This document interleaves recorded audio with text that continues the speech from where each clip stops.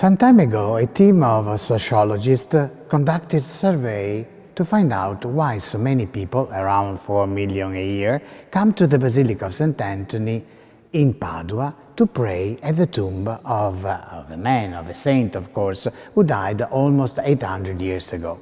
The most frequent answer was, I come here because for me this is the home of St. Anthony, who is our dearest family friend. In the 13th Tuesday preceding the feast of St. Anthony, I will show you some uh, examples of people who consider the saint a faithful and attentive friend. Of course, these are only examples because, as we all know, St. Anthony is the friend and uh, brother of all those who turn to him.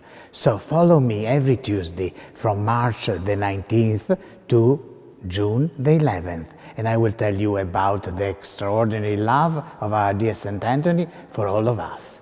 Peace and all good.